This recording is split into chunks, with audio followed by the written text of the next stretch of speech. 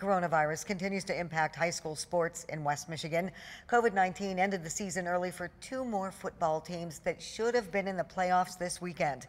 13 on your side's Amar Abbas has reaction from an athletic director and a head football coach. Because we, we really didn't have many starters coming back. Um, and we were a little bit undersized. But despite that, Zeeland West was still showing potential what a great group of kids we had and, and how much they improved during the course of six games through the season. Zeeland West began this week preparing for a playoff matchup against Thornapple Kellogg, but then everything changed. Then we found out on Wednesday that uh, you know that our kids were going to be quarantined. Football was our third team that had their season ended. Uh, by COVID protocol. Athletic Director Travis Spaman says the school looked at every possibility other than forfeiting the game, but says that their options were limited and given the protocol with COVID and you know being the two week time frame and stuff like that, that we were pretty limited on what we can do.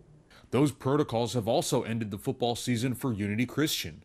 COVID has forced Zeeland West to go back to virtual learning this week. Head football coach John Shillito says he agrees with the season ending decision, but it's still tough to swallow. We're really disappointed for the kids and, and heartbroken. You know, for me, I'm heartbroken because this group of seniors really developed a really developed a great love for them, and so heartbroken that we don't get to continue. Amar Abbas. 13 on your side.